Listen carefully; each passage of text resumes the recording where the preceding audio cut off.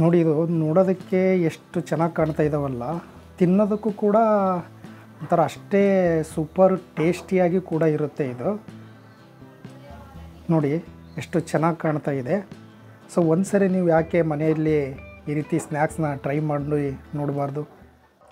ನಮಸ್ಕಾರ ಸ್ನೇಹಿತರೆ, ಹೇಗಿದ್ದೀರಾ? ನಾನು ಚೆನ್ನಾಗಿದ್ದೀನಿ. ನಾನು ನಿಮ್ಮ ಹನುಮಂತು. ವೆಲ್ಕಮ್ ಬ್ಯಾಕ್ ಟು ಮಾಡಿ ನೋಡಿ ಕನ್ನಡ ಕುಕಿಂಗ್ ಚಾನಲ್ ಸ್ನೇಹಿತರೆ ತುಂಬಾ ಸಿಂಪಲ್ಲಾಗಿ ಹೆಸರು ಬೇಳೆಯಿಂದ ಹೆಸರುವಡೆನ ಯಾವ ರೀತಿ ಮಾಡೋದು ಅಂತ ಈ ವಿಡಿಯೋದಲ್ಲಿ ನಾನು ನಿಮಗೆ ತೋರಿಸ್ಕೊಡೋಕ್ಕೆ ಬಂದಿದ್ದೀನಿ. ತುಂಬಾ ಚೆನ್ನಾಗಿರುತ್ತೆ ಕ್ರಿಸ್ಪಿಯಾಗಿ ಸಖತ್ತಾಗಿರುತ್ತೆ.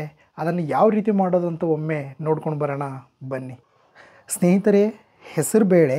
ಸೊ ಇದನ್ನು ಒಂದು ಐದು ತಾಸು ನೆನೆ ಇಡಬೇಕಾಗುತ್ತೆ. ಐದು ತಾಸು ನೆನೆ ಇಟ್ಟು ನಾವು ಮಿಕ್ಸಿಗೆ ಹಾಕ್ಕೊಂಡು ಬರಬೇಕು. ಸೊ ಇವಾಗ ನಾನು ಮಿಕ್ಸಿಗೆ ಹಾಕ್ಕೊಂಡು ಬರ್ತೀನಿ. ನಾನು ಹೆಸರುಬೇಳೆ ತೊಗೊಂಡಿರೋದು. ಸುಮಾರು ಒಂದು ಅರ್ಧ ಕೆ ಜಿ ತೊಗೊಂಡಿದ್ದೀನಿ. ಸೊ ಸ್ವಲ್ಪ ನೀವು ಒಂದು ಸ್ವಲ್ಪ ಒಂದು ನೂರು, ನೂರೈವತ್ತು ಗ್ರಾಮ್ ತೊಗೊಂಡ್ರು ಚಿಂತೆ ಇಲ್ಲ. ಸೊ ಒಂದು ಐದರಿಂದ ಆರು ಜವಾರಿ ಬೆಳ್ಳುಳ್ಳಿ ತೊಗೊಂಡೀನಿ. ಸೊ ಬೆಳ್ಳುಳ್ಳಿನ ಈ ರೀತಿ ಬೇಳೆನ ಇದಕ್ಕೆ ಆ್ಯಡ್ ಮಾಡ್ತಾಯಿದ್ದೀನಿ ಇದಕ್ಕೆ ಎರಡೇ ರುಬ್ಬ ಐಟಮ್ಸು ಬೆಳ್ಳುಳ್ಳಿ ಮತ್ತು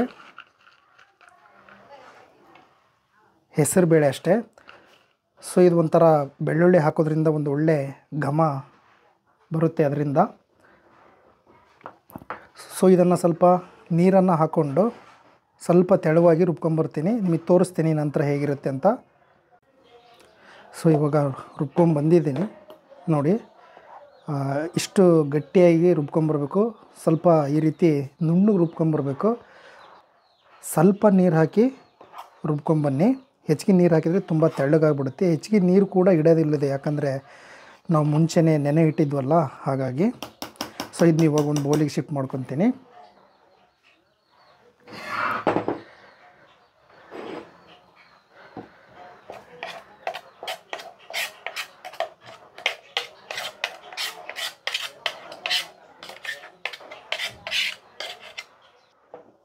ಸೊ ಅದಕ್ಕೆ ಇವಾಗ ಸ್ವಲ್ಪ ಹಸಿ ಕಡಲೆ ಹಿಟ್ಟು ಅದನ್ನು ಸೇರಿಸ್ತಾ ಇದ್ದೀನಿ. ಸೊ ಇದು ಆಪ್ಷನಲ್ಲು ಕಡಲೆ ಹಿಟ್ಟು ಸೇರಿಸ್ದೇನು ಕೂಡ ಹಾಗೆ ನೀವು ಮಾಡ್ಬೋದೇನು ತೊಂದರೆ ಆಗಲ್ಲ. ಜೊತೆಗೆ ಸ್ವಲ್ಪ ಒಂದೇ ಒಂದು ಚಿಟಿಗೆಯಷ್ಟು ಅಡುಗೆ ಸೋಡಾನ ಹಾಕ್ತಾ ಇದ್ದೀನಿ. ನಂತರ ರುಚಿಗೆ ತಕ್ಕಷ್ಟು ಉಪ್ಪನ್ನು ಕೂಡ ಇದಕ್ಕೆ ಆ್ಯಡ್ ಮಾಡಿ. ಸೊ ನೀಟಾಗಿ ಒಂದು ಸರಿ ನೀವು ಇದನ್ನು ಮಿಕ್ಸ್ ಮಾಡ್ಕೋಬೇಕಷ್ಟೆ. ಸೊ ಇಷ್ಟೇ ಇದಕ್ಕೆ ಹಾಕುವಂಥ ಇಂಗ್ರೀಡಿಯೆಂಟ್ಸ್ಗಳು ತುಂಬಾ ಕ್ರಿಸ್ಪಿಯಾಗಿ ಚೆನ್ನಾಗಿ ಬರುತ್ತೆ. ಹಾಗೆ ಹೆಲ್ತ್ಗೂ ಕೂಡ ತುಂಬಾ ಒಳ್ಳೆಯದು. ನೀವು ಬೇರೆ ಥರ ಬೇರೆ ಬೇರೆ ಸ್ನ್ಯಾಕ್ಸ್ಗಳನ್ನು ಮಾಡ್ಕೊಂಡು ತಿಂತಾ ಇದ್ದರೆ ಈ ವಿಧಾನದಿಂದ ಒಮ್ಮೆ ಮಾಡಿ ನೋಡಿ.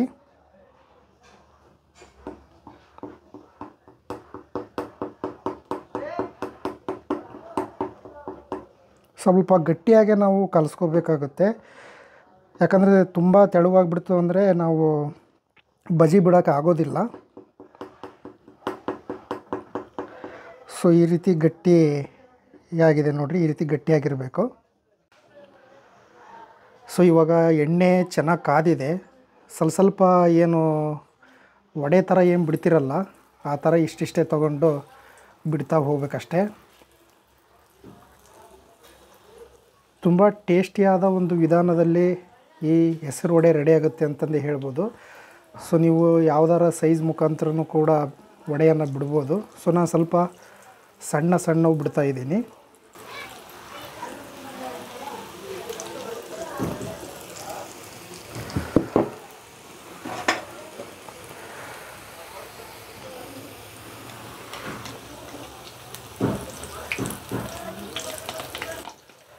ಸ್ವಲ್ಪ ಇದು ಸ್ವಲ್ಪ ಕಲರ್ ಚೇಂಜ್ ಆಗೋವರೆಗೂ ಫ್ರೈ ಮಾಡಿಕೊಂಡ್ರೆ ಸಾಕು. ಕಲರ್ ಹಂಗೆ ಫುಲ್ಲು ಬ್ಲ್ಯಾಕ್ ಆಗೋವರೆಗೂ ಏನಲ್ಲ. ಹಾಗೆ ಸ್ವಲ್ಪ ಗೋಲ್ಡನ್ ಕಲರ್ ಬರುತ್ತೆ. ಅಲ್ಲಿವರೆಗೂ ಫ್ರೈ ಮಾಡಿಕೊಂಡ್ರೆ ಸಾಕು ಇದು.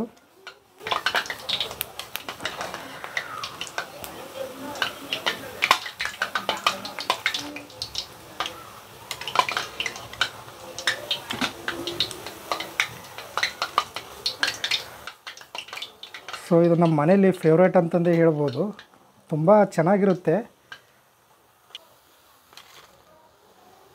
ಇನ್ನು ಸ್ವಲ್ಪ ಫ್ರೈ ಆಗಬೇಕಂತ ಅನ್ನಿಸ್ತಾ ಇದೆ. ಸೊ ಹಾಗಾಗಿ ಮತ್ತೆ ಎಣ್ಣೆಯಲ್ಲಿ ಫ್ರೈ ಮಾಡ್ತಾ ಇದ್ದೀನಿ. ಇನ್ನು ಸ್ವಲ್ಪ ಕಲರ್ ಚೇಂಜ್ ಆಗಿಬಿಟ್ರೆ ಟೇಸ್ಟಿಯಾಗಿರ್ತಕ್ಕಂಥ ಹೆಸರು ಒಡೆ ರೆಡಿ ಆದ ಹಾಗೆ.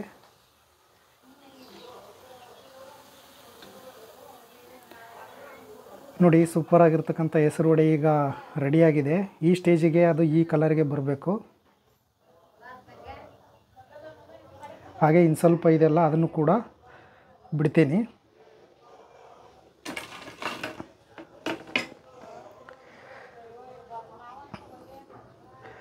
ಸೊ, ಈ ಹೆಸರು ವಡೆ ತಿನ್ನೋದ್ರಿಂದ ತುಂಬಾ ಆರೋಗ್ಯಕ್ಕೆ ಒಳ್ಳೆಯದು ಹಾರ್ಟಿಗೂ ಕೂಡ ತುಂಬಾ ಒಳ್ಳೆಯದಾಗುತ್ತೆ ಹಾಗೆ ನಿಮ್ಮದು ಕೂದಲು ಏನಾರು ಉದುರ್ತಾ ಇತ್ತು ಅಂದರೆ ಅದಕ್ಕೂ ಕೂಡ ಇದು ಹೆಲ್ಪ್ ಆಗುತ್ತೆ ಈ ಹೆಸರು ವಡೆ ಇದರಲ್ಲಿ ಫೈಬರ್ ಅಂಶ ಹೆಚ್ಚಾಗಿರುತ್ತೆ. ಹೃದಯ ಸಂಬಂಧಿ ಕಾಯಿಲೆ ಏನಾರು ಇದ್ರೂ ಕೂಡ ಈ ಹೆಸರು ಬೇಳೆಯಿಂದ ಅದು ಕೂಡ ಕಡಿಮೆ ಆಗುತ್ತೆ. ಹಾಗೆ ಇದು ಕ್ಯಾನ್ಸರ್ಗೆ ರಾಮಬಾಣನೆ ಅಂತಂದೇ ಹೇಳ್ಬೋದು ಈ ಹೆಸರು ಕಾಳನ್ನು ಯೂಸ್ ಮಾಡೋದ್ರಿಂದ. ಅದನ್ನ ಸ್ವಲ್ಪ ಈ ಡಿಫ್ರೆಂಟ್ ಸ್ಟೈಲಲ್ಲಿ ಈ ರೀತಿ ಮಾಡ್ಕೊಂಡು ತಿನ್ನೋದ್ರಿಂದ ನಮಗೂ ಕೂಡ ಒಳ್ಳೆಯದು ಹಾರ್ಟಿಗೂ ಕೂಡ ತುಂಬ ಒಳ್ಳೆಯದು ಸೊ ಹೊರಗಡೆ ತಿನ್ನೋದಕ್ಕಿಂತ ಮನೇಲಿ ಈ ರೀತಿ ಒಂದು ಸರಿ ನೀವು ಮಾಡ್ಕೊಂಡು ತಿಂದರೆ ಪ್ರತಿಯೊಬ್ಬರು ಇಷ್ಟಪಡ್ತಾರೆ. ಸೊ ಎಣ್ಣೆಯನ್ನು ನೀವು ಸ್ವಲ್ಪ ಇದಕ್ಕೆ ಹೆಚ್ಚಾಗಿ ಯೂಸ್ ಮಾಡಬೇಕು. ಯಾಕಂದರೆ ಎರಡೂ ಕಡೆನೂ ಫ್ರೈ ಆಗುತ್ತೆ. ಸ್ವಲ್ಪ ಕಡಿಮೆ ಎಣ್ಣೆ ತೊಗೊಂಡು ಈ ರೀತಿ ಫ್ರೈ ಮಾಡೋಕ್ಕೆ ಹೋದರೆ ಬರಲ್ಲ ಅದು. ನೋಡಿ, ಇದು ನೋಡೋದಕ್ಕೆ ಎಷ್ಟು ಚೆನ್ನಾಗಿ ಕಾಣ್ತಾ ಇದ್ದಾವಲ್ಲ ತಿನ್ನೋದಕ್ಕೂ ಕೂಡ ಒಂಥರ ಅಷ್ಟೇ ಸೂಪರ್ ಟೇಸ್ಟಿಯಾಗಿ ಕೂಡ ಇರುತ್ತೆ ಇದು. ನೋಡಿ, ಎಷ್ಟು ಚೆನ್ನಾಗಿ ಕಾಣ್ತಾ ಇದೆ. ಸೊ ಒಂದು ಸರಿ ನೀವು ಯಾಕೆ ಮನೆಯಲ್ಲಿ ಈ ರೀತಿ ಸ್ನ್ಯಾಕ್ಸ್ನ ಟ್ರೈ ಮಾಡಿ ನೋಡಬಾರ್ದು? ನೋಡಿರಲ್ಲ ಸ್ನೇಹಿತರೆ ತುಂಬಾ ಸಿಂಪಲ್ಲಾಗಿ ಟೇಸ್ಟಿಯಾಗಿರ್ತಕ್ಕಂತಹ ಹೆಸರು ವಡೆಯನ್ನು ಸ್ವಲ್ಪ ವಿಭಿನ್ನವಾಗಿ ಯಾವ ರೀತಿ ಮಾಡೋದು ಅಂತ ಈ ವಿಡಿಯೋದಲ್ಲಿ ನಾನು ನಿಮಗೆ ತೋರಿಸ್ಕೊಟ್ಟಿದ್ದೀನಿ. ತುಂಬಾ ಚೆನ್ನಾಗಿರುತ್ತೆ. ತಡ ಯಾಕೆ? ಈ ಮಳೆಗಾಲದಲ್ಲಿ ಈ ಚಳಿ ಚಳಿಗೆ ಮಾಡ್ಕೊಂಡು ತಿಂದರೆ ತುಂಬಾ ಚೆನ್ನಾಗಿರುತ್ತೆ. ನೀವು ಕೂಡ ಮನೆಯಲ್ಲಿ ಇಷ್ಟೇ ಇಂಗ್ರೀಡಿಯೆಂಟ್ಸ್ಗಳನ್ನು ಯೂಸ್ ಮಾಡಿಕೊಂಡು ಒಮ್ಮೆ ಮಾಡಿ ನೋಡಿ. ಈ ವಿಡಿಯೋ ನಿಮಗೆ ಇಷ್ಟ ಆದರೆ ದಯವಿಟ್ಟು ಲೈಕ್ ಮಾಡಿ ಶೇರ್ ಮಾಡಿ ಸಬ್ಸ್ಕ್ರೈಬ್ ಕೂಡ ಆಗಿ. ಇದೇ ರೀತಿ ಹೊಸ ಹೊಸ ವಿಧಾನ ಅಥವಾ ಹೊಸ ರೆಸಿಪಿಯೊಂದಿಗೆ ತಮ್ಮನ್ನು ಮತ್ತೆ ಭೇಟಿಯಾಗ್ತೀನಿ ಸ್ನೇಹಿತರೆ. ಅಲ್ಲಿವರೆಗೂ ನಮಸ್ಕಾರ.